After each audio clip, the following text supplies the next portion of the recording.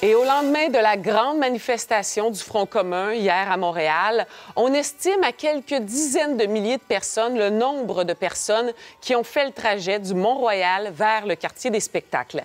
Elles espèrent avoir lancé un message au gouvernement alors que la négociation des conventions collectives piétine. Les syndicats continuent d'ailleurs de solliciter un mandat de grève auprès de leurs 400 000 membres.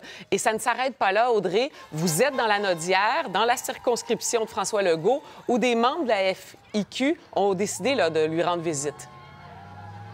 Oui, et plus précisément, Véronique, dans le stationnement même du bureau de circonscription du premier ministre François Legault, ici dans l'Assomption. Et vous le voyez, ce sont quelques dizaines de membres de la FIC, un syndicat interprofessionnel de l'Anaudière, donc des professionnels en soins, euh, qui manifestent, qui se font entendre là, ici euh, pour dénoncer leurs piètres conditions de travail. On est en négociation et les 4200 membres ben, aimeraient avoir de meilleures conditions, évidemment, des augmentations salariales, mais pas seulement ça. On veut aussi une meilleure conciliation travail-famille et j'en passe. Donc, on parle d'environ 250 militantes qui vont se relayer pendant 24 heures, vont passer la nuit ici pour se faire entendre en solidarité avec leurs collègues qui travaillent 24 heures sur 24, 7 jours sur 7. Je vous laisse entendre là-dessus. La présidente de la FIC.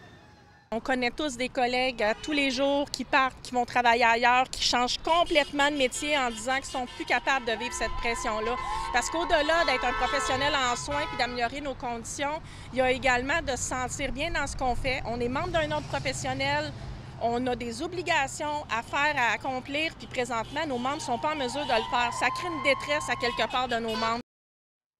Et donc, Audrey, ça va se poursuivre jusqu'à demain matin? Euh, toute la nuit, Véronique, elles vont marcher ici, près du bureau de circonscription de François Legault, pour envoyer euh, un message. J'ai rencontré plusieurs de ces professionnels en soins et vraiment, elles déplorent les conditions qu'elles ont perdues dans les dernières années. Écoutez-les. Euh, par exemple, abolir la notion de quart de travail. Ça, c'est important pour nous parce qu'au moins, on sait que quand on rentre, c'est telle heure, on finit à telle heure. Ça fait 14 ans que je suis infirmier auxiliaire et j'adore ce que je fais. J'aime m'occuper des personnes âgées. Moi, je travaille beaucoup en CHSLD.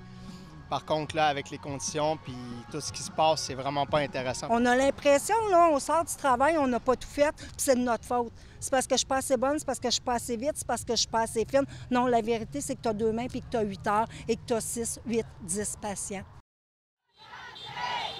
Et demain matin, donc 8h30, il y a d'autres collègues qui vont partir du parc euh, Outara Gawa Zipi, ici dans l'Assomption, une marche de 1,7 km pour venir les rejoindre dans le stationnement et faire des discours et manifester leur mécontentement. Merci, Audrey.